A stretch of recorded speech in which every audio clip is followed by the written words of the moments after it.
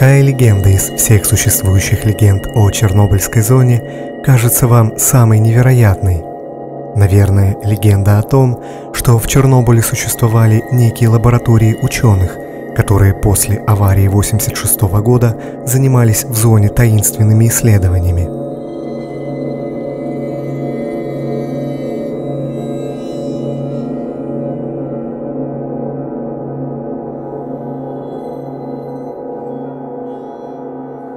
на самом деле такие лаборатории – это не миф.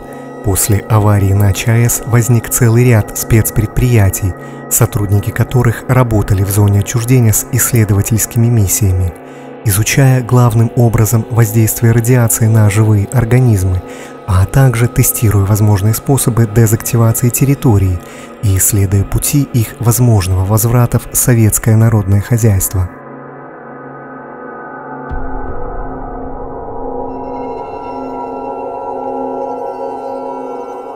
В этом выпуске нашего сериала о Чернобыле мы расскажем о нескольких таких исследовательских лабораториях, которые функционировали в зоне отчуждения аж до конца 90-х годов, а в некоторых случаях даже до начала 2000-х. Новую инфраструктуру в этих лабораториях, как правило, не создавали. Они функционировали на материальной базе уже существующей до аварийной инфраструктуры с ее небольшими изменениями для нужд новых исследований.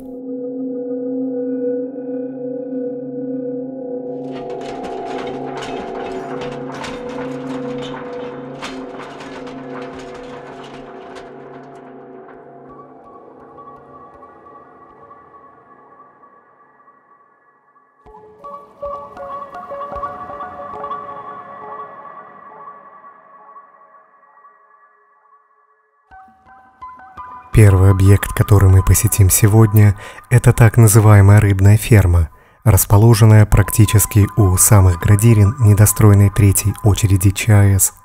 Как и большинство других исследовательских объектов зоны, рыбная ферма имела две жизни – первую до аварийную и вторую, начавшуюся уже после аварии 86 года. Рыбная ферма или попросту рыбхоз существовала на острове возле ЧАЭС задолго до начала строительства сооружений третьей очереди и размещалась на пруду охладителя атомной станции возле сбросного канала, куда мы сейчас и заглянем при помощи подводного дрона.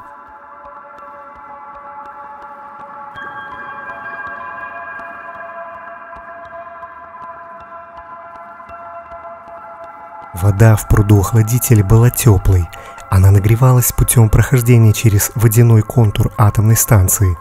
Глубина водоема была относительно небольшой, не более 15 метров, что создавало очень благоприятные условия для размножения речной рыбы, в том числе и ценных пород, вроде сама или судака. В таких условиях рыба быстро росла и размножалась. Улов из пруда охладителя шел на прилавки магазинов города Припять, а также радовал местных рыболовов.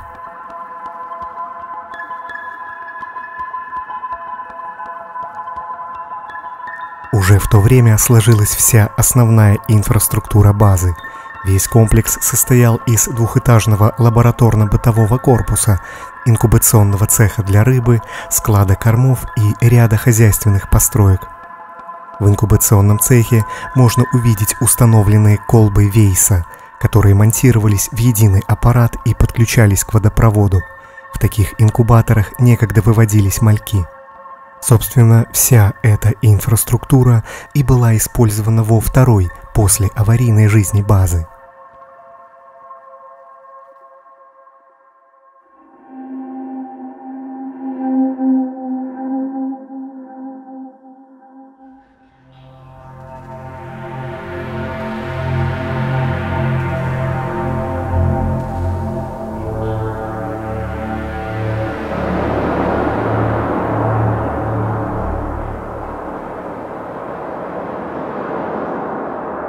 конце 80-х годов на бывшей рыбной ферме разместилось экспериментальное хозяйство отдела радиоэкологии и рекультивации.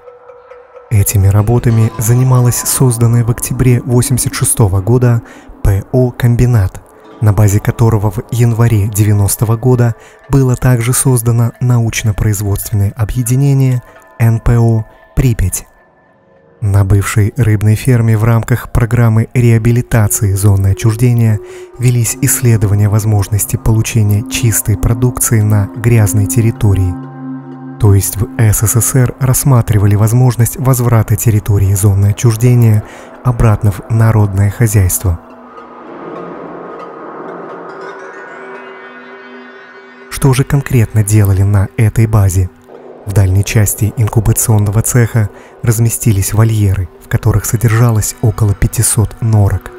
Норок кормили рыбой из пруда охладителя, а затем их убивали и смотрели, как именно радиация действует на различные органы животных.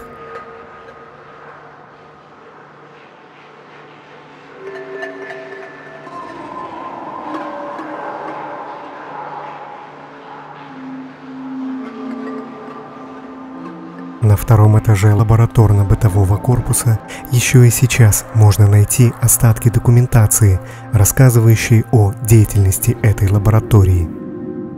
Найденный нами перечень работ, датированный началом 90-х годов, предполагает изучение влияния малых доз радиации на живые организмы, а также способы получения чистой продукции в зоне отчуждения.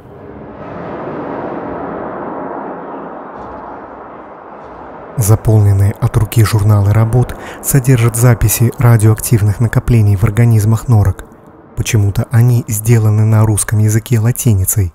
Норка кости, норка мышцы, норка кости печень. Кстати, сами части тел норок исследовались не здесь, а в городе Чернобыль, в лаборатории по адресу улица Школьная, 6. Из сохранившихся здесь же планов работ отдела можно узнать, как именно была организована структура всего комплекса. Он состоял из группы рыбоводства, группы звероводства, группы животноводства и группы технического обеспечения –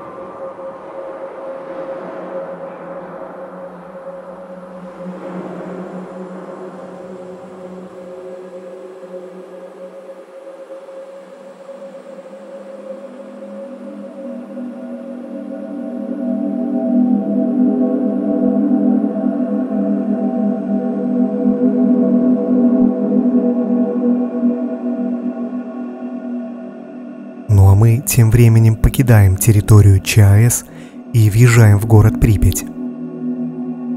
На западных окраинах Припяти находится завод «Юпитер», на базе которого также работало несколько исследующих зону организаций. Но для начала мы немного расскажем о доаварийной истории завода. Эта история очень интересна.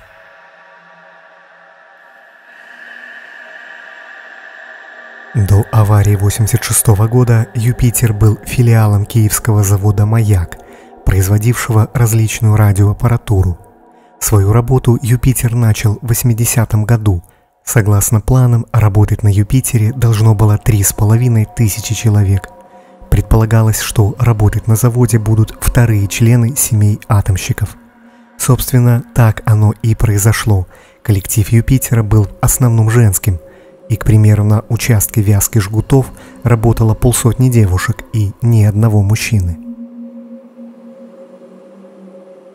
Как и рыбная ферма, Юпитер имел двойную жизнь.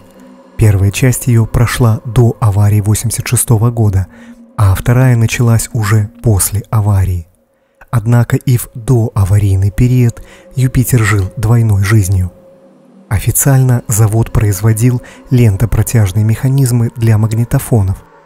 Но это была только часть правды, потому что на самом деле Юпитер был военным заводом двойного назначения. На Юпитере существовали литейный цех, электроцех, цех пластмасс, а также цех со станками с ЧПУ.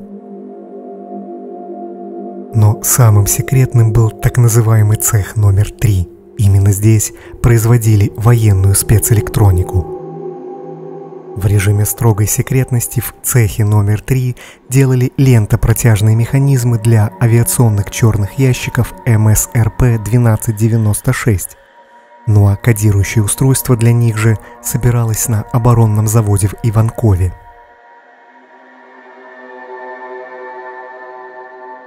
Чаще всего рабочие Юпитера не знали, что именно они делают.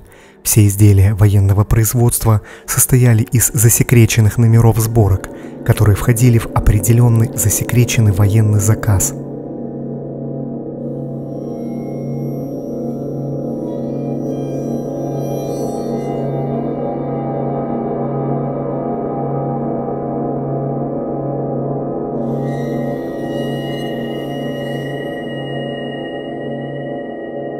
Вторая жизнь Юпитера началась уже после аварии.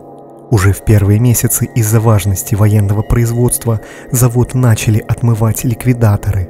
Но позже, когда стало понятно, что жизни в Припяти больше не будет, военный завод частично эвакуировали. Ну а освободившиеся мощности передали так называемому ПО «Спецатом», которая базировалась в брошенной Припяти и с 1988 года начала работать на Юпитере.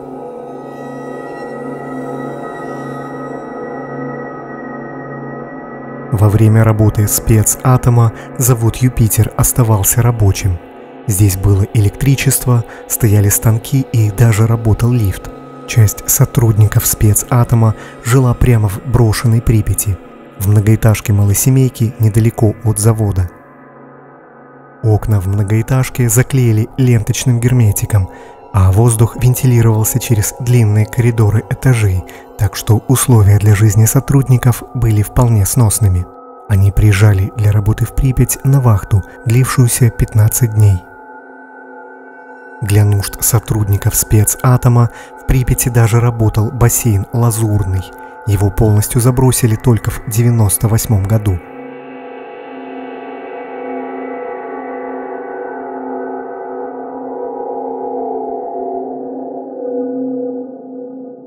Чем же занималось предприятие «Спецатом»? Это спецпредприятие разрабатывало различные методы ликвидации радиационных аварий и их последствий, способы очистки территории, дезактивации зданий, расчистки и удаления крупных радиоактивных обломков.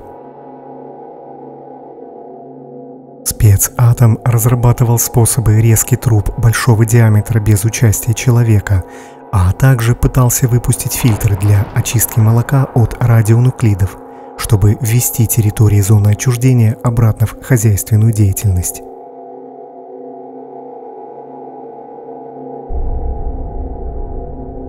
Найденные нами на территории Юпитера документы рассказывают про отдельный цех робототехники спецатома. В нем разрабатывались системы технического зрения роботов и осуществлялась их настройка – для поиска кусков радиоактивного графита и частей радиоактивных топливных сборок. Техническое зрение роботов предполагалось делать на основе самых современных перископных, оптоволоконных и телевизионных систем для стабильной работы в высоких полях радиации. В одном из цехов Юпитера еще и сейчас можно увидеть куски графита – с помощью которых ученые проводили здесь различные эксперименты, а во дворе завода до сих пор валяются остатки радиоуправляемого бульдозера амфибии под названием Камацу Д-150В с остатками надписи «Спецатом» на борту. Этот бульдозер предполагалось приспособить для работ по ликвидации будущих радиационных аварий.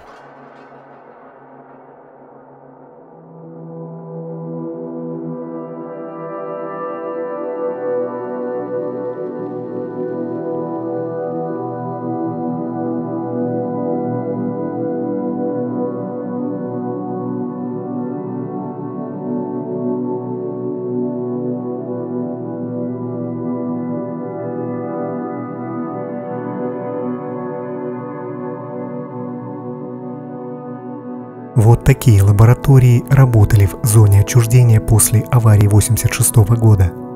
Ну а самое интересное в этом всем то, что по идее все работы этих лабораторий и спецпредприятий должны были вестись до аварии на ЧАЭС, но они начались лишь тогда, когда трагедия уже произошла – Возможно, если бы ученые проводили подобные исследования до апреля 1986 года, последствия аварии на ЧАЭС не были бы столь ужасными, да и самой аварии могло не быть вовсе. Впрочем, это уже совсем другая история.